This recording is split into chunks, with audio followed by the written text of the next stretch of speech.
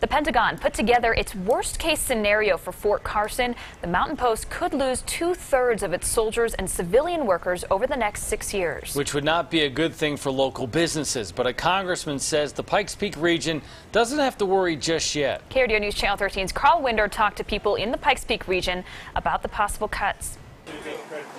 Black Bear Coffee and Tea is a popular place for Fort Carson soldiers. So the military is a big part of our business. If the Pentagon's report were to come true, Fort Carson would lose 16,000 Army positions by 2020. That would cripple the Black Bear's business. Probably represents a good 25 to 30 percent of our sales. And Not only would businesses around Fort Carson feel the effects, but so would the rest of the Pikes Peak region. Sure, but it would take a long time to recover from that significant uh, a cut in people.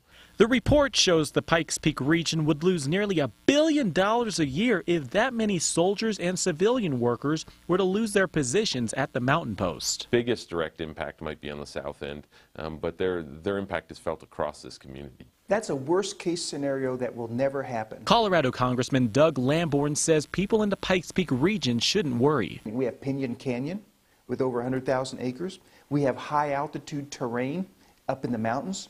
So there are really advantage, big advantages for here. Even though Fort Carson is the best hometown in the Army, if the Pentagon's report comes true, this hometown could get a lot smaller. In Colorado Springs, Carl Winder, KRDO News Channel 13.